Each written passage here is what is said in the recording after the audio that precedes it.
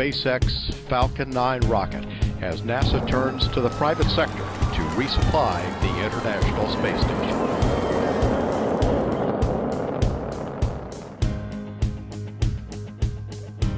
A future where we're a spacefaring civilization is a far more exciting and inspiring future than one where we are, are not.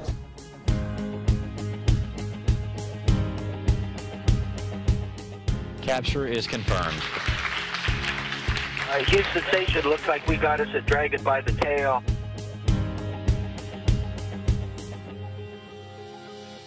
Our long-term goal is to be able to develop the technology to transport millions of people to Mars, which will preserve the future of humanity in the event of a calamity on, on Earth. Absolutely think we want to have a future where humanity is um, out there exploring the stars and where we have human civilization on multiple planets. When the U.S. government decided to stop funding the space race, the co-founder of PayPal and Tesla Motors, Elon Musk, stepped up to the plate. He invested $100 million of his own money into SpaceX. I was able to sit down with Elon at his headquarters in Southern California to talk about how he is making space exploration possible for the next generation. The big breakthrough that we're hoping to achieve at SpaceX is to create um, a, a, fully and rapidly reusable rocket. The reason that's so important is that the, the cost of the fuel and the oxygen in the rocket is very low. It's actually only about 0.3% of the cost of the rocket. The cost of our rocket is $60 million, but the cost of our, of our propellant is only about $200,000. So if we're able to reuse the rocket, there can be a dramatic reduction in the, in the cost of uh, space flight. And what inspired you to do this? When I was a kid, I, I, I thought about um, what would most affect the future of humanity. And I, and I think, um, I think it's, it's, fair to say and probably pretty obvious uh, to most that um, a future where we're a spacefaring civilization is a far more exciting and inspiring future than one where we are, are not. And even though in, in the Apollo uh, era when uh, we sent astronauts to the moon and only a handful of people went to the moon, in, in effect we all went there vicariously. Tranquility Base here. The Eagle has landed.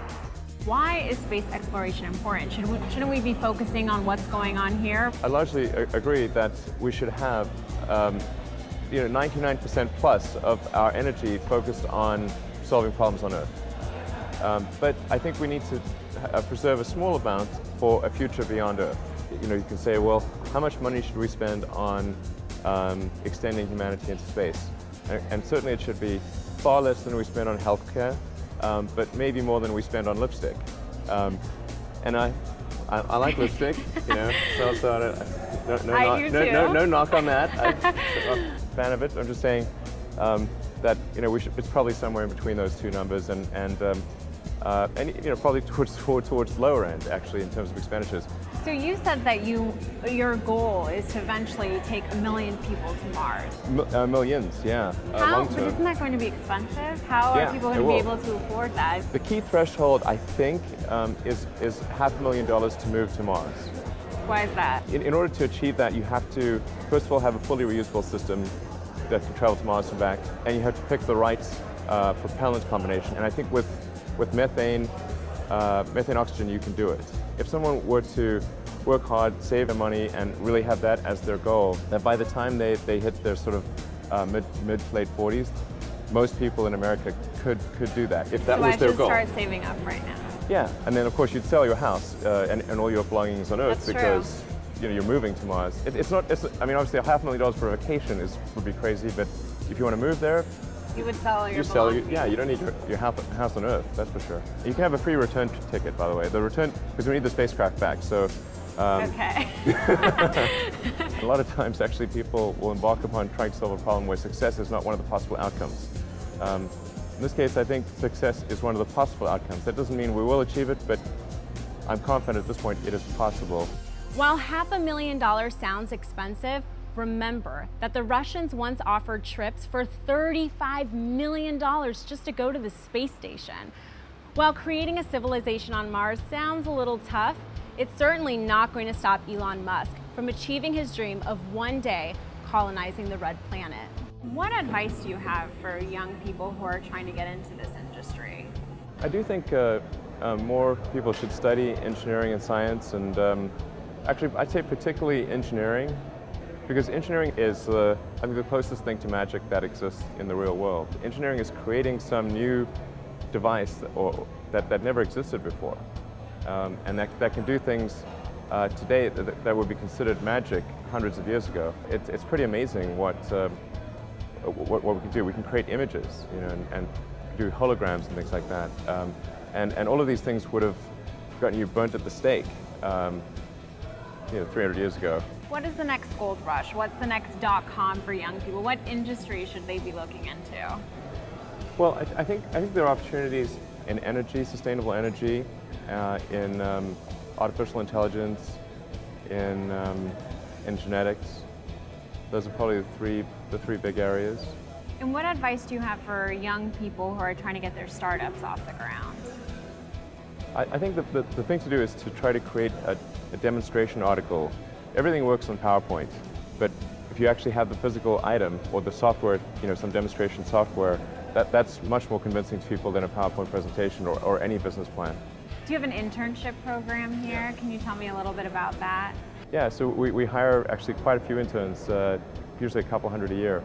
And we're, we're generally looking for evidence of exceptional ability. So, um, you know, has somebody uh, competed in like a design build fly competition or uh, Formula SAE racing, won a state science fair. What do they do that sort of is evidence of exceptional ability in, in one form or another? Uh, GPA is just one, one element, um, actually puts slightly higher weighting on having won some sort of competition. So someone told me before this interview that you work in a cubicle. Is that Well, true? I have a desk, yeah. Why did you decide to do that? Well, I think it's important to maximize communication. You know, much more sort of of the uh, sort of the, the, Spartan school of thought. Um, so I, I, care about effective execution at the company, and the more you insulate yourself from information or, or, or feedback in the company, the worse decisions you make. This is the third successful venture for Elon Musk. He's got degrees in both physics and business, and he promotes science as a pathway to success for the next generation. How does a recession affect a company like SpaceX? Have you all been affected? The recession? Um, we've actually done reason reasonably well, actually. And um, in California? Yeah. Yeah? Yeah, we've, we've done fairly well. Uh, we, have continued to grow uh, throughout the recession, and um, yeah, it, it, really, really hasn't had a negative effect on SpaceX. We might have grown slightly faster, but, but we grew very fast. And I debated whether to start SpaceX in Silicon Valley or uh, Southern California. And in the end, I decided to do Southern California because there's a larger base of aerospace engineering talent in Southern California.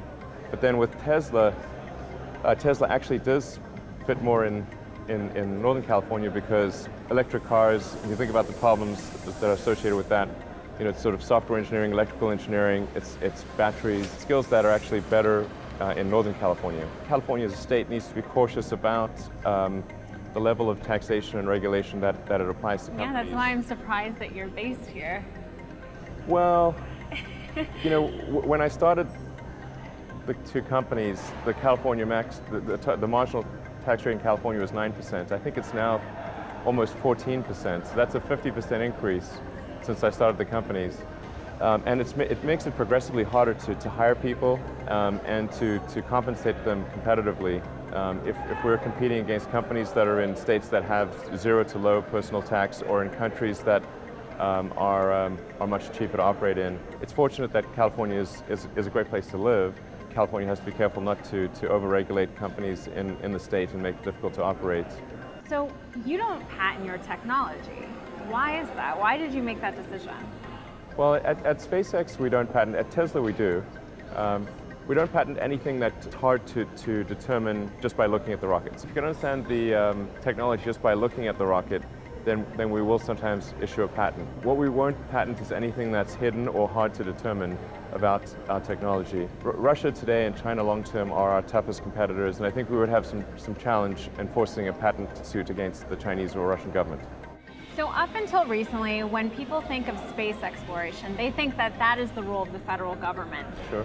Do you think that your business, your company, is just as capable or perhaps more capable? Well, I, I think, I think that the, the likely uh, solution is going to be some combination of a, of a private and, and government effort. So not completely privatized. No, I, I, don't think it's likely to be completely privatized, I, but I do think it's likely to be majority private. And government can be quite helpful in, in the beginning. While I'm you know, very much a proponent of the, of the free market, there is a limited role for government in, in certain, certain areas, um, particularly where it's a large expenditure, but it provides a small amount of good for the whole, the whole country. Something like the, the Hubble Space Telescope is a good example.